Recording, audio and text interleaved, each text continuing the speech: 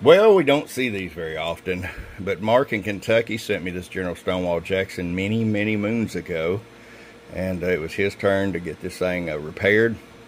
Uh, power supply had died in this, and uh, so we beefed it up, uh, put a 29 amp supply in there, um, modern technology, feeding this machine. This thing has got two 2290 Toshibas in it. The amp section had been untouched, just minty uh, no issues inside as far as on the main board. It was in really good shape. Um, so we also preset the echo inside. It was running wide open. Don't know if you run echo or not, Mark, but that's set for you now. Um, so let's just get right to it. Got the Chi regulator. Got the nice bright white lights here now. Start with R power all the way down. 100 watt slug. 5 watts all the way down. Right at 50 all the way up show you average power swing. Hello,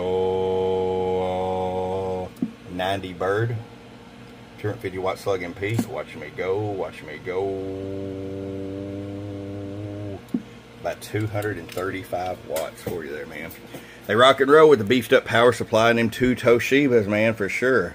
This General Stonewall Jackson is ready to come back to you, Mark. I appreciate your great patience and everyone else is out there. From your friend Truck at truckscbsales.com.